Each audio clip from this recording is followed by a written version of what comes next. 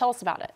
Well, that's right, Hallie. It did start off uh, on the gloomier side for today, but we did end up seeing some sunshine coming out, especially for some of our western counties. But overall, it wasn't just a completely overcast day, but there was a good bit of cloud cover that did stick around throughout our day, and we're still seeing some of that lingering through tonight. As far as weather headlines, you may have noticed it is a little bit stickier outside, especially tonight, and as we continue into tomorrow and into the upcoming work week, that will give way to a small chance for rainfall as we head through each of the upcoming days for the upcoming week. And we're also talking about some much warmer temperatures moving in, especially by Monday, sticking around through about Wednesday. As far as the Augusta Almanac, uh, we are looking at the Savannah River here, 13th Street Bridge from our North Augusta camera, and we did uh, definitely see those temperatures get up to at least the mid 70s for today, but still below average, almost 10 degrees there, and we started off just above that normal temperature of 56 degrees for today at Bushfield Airport. As far as current temperatures right now around the region, we, we are seeing those temperatures falling back towards the mid to low 60s, so a little bit of a cooler feel beginning to work into the region, but still feeling kind of mild with that humidity being elevated.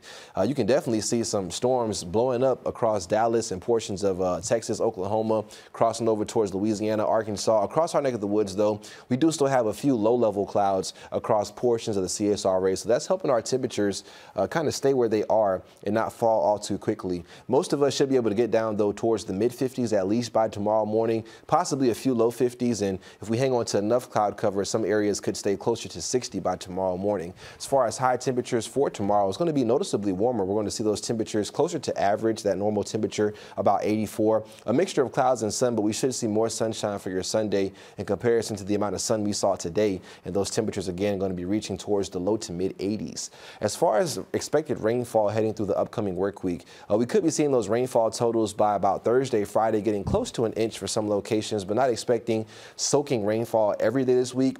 Uh, more of a summer-like pattern is a good way to compare this outlook for the upcoming week as far as some upper level disturbances moving through the Bermuda High really becoming prominent and pumping in some humidity for us across the area. And that's going to give us a chance for some isolated to widely scattered showers and storms just about each day, even for your Sunday. We should stay mostly dry, but as we head towards tomorrow night, possibly seeing an area or two see an isolated shower as we head later into your Sunday. But as far as the outlook, taking you through the hour by hour forecast and going through tomorrow, you can see a good bit of sunshine expected. We are expected to stay mostly dry, but maybe the chance for an isolated shower at some point throughout your day. Overnight into your Monday, though, we do keep those temperatures a little bit milder with cloud cover and humidity sticking around into your Monday morning, waking up possibly in the mid 60s for some areas, so above average there. And then we do continue to see our temperatures climbing close to 90 for some locations uh, by your Monday afternoon and seeing that chance for maybe a spotty shower really starting to pop up there as well. So we are going to keep that weather pattern unsettled, really beginning Monday all the way through next weekend.